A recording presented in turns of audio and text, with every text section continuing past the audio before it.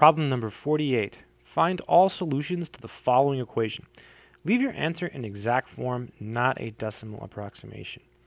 Okay, so the question is 8 to the 2x plus 1 equals 32. So the idea here is to write each side using um, the same base. So 8 can be written as 2 cubed.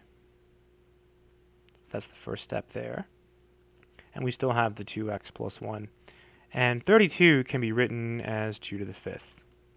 Okay? So generally when you have an exponential equation like this, try to think about a number you can use. Uh, in this case, 2 was, was the best number. This 3 gets distributed, right, to each of these. That's properties of exponents. So it's 2, and so 3 times 2x is 6x. 3 times 1 is 3. And then here we have 2 to the 5.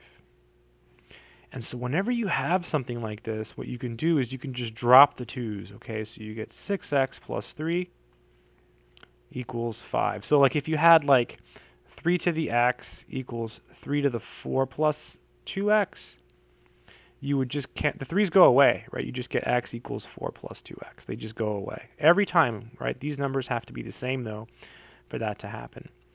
Uh, let's see, to finish, just minus 3, minus 3. So we get 6x equals 2. Then just divide by 6, divide by 6. So we end up with x equals uh, 1 over 3. And that is the final answer. So I hope this video uh, has been helpful. That's it.